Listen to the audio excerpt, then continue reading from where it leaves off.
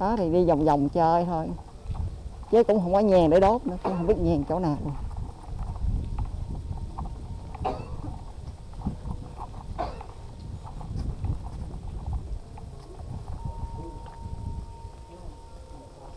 Luôn cánh chùa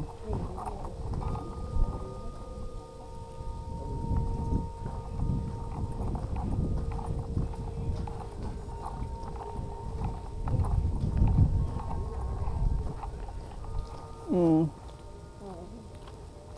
Qua ờ lại chứ đâu có nhà đâu thấp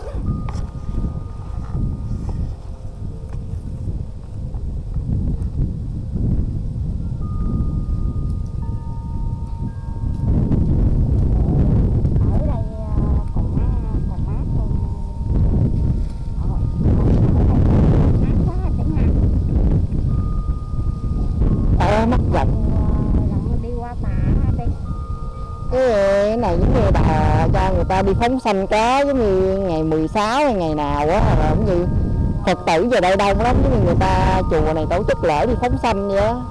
Cái ta leo lên rồi cái chạy ra giữa dòng sông người ta phóng sanh thôi. À, yên tĩnh đúng không? Giống như chứ đâu phải giống chùa nãy đầu nãy đông nhiệt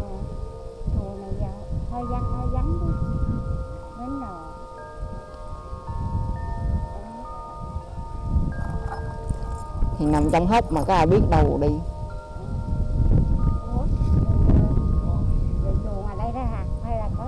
Có chánh điện mà nãy thấy đóng cửa rồi, chắc nghỉ trưa hay gì à ai biết, không biết. Điện cửa đó con ừ. mà vô trọng cũng có một, hai cái tượng phật hờ tại chùa này vô rồi. Chứ cũng không thấy nhang để thắp nữa. Với chùa này không có chủ trương thắp nhang vậy đó ừ chắc không có cho thắp nhang ờ có. Mà không thấy nhang có để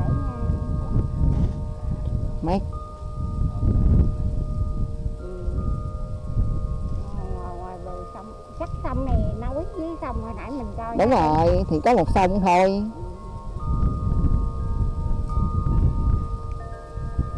Nè cầu phóng xanh nè mua cá xong leo lên cầu quăng xuống là nó bơi bơi bơi bơi bơi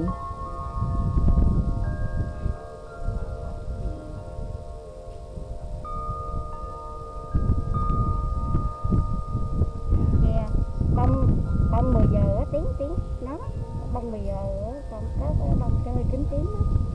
chỗ bông giấy nó lắm. đẹp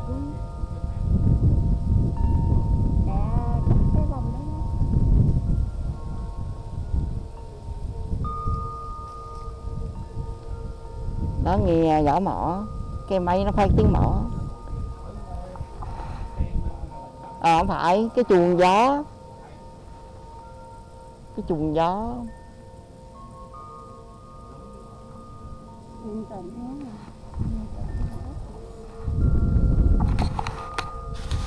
Chùa vậy mới là chùa.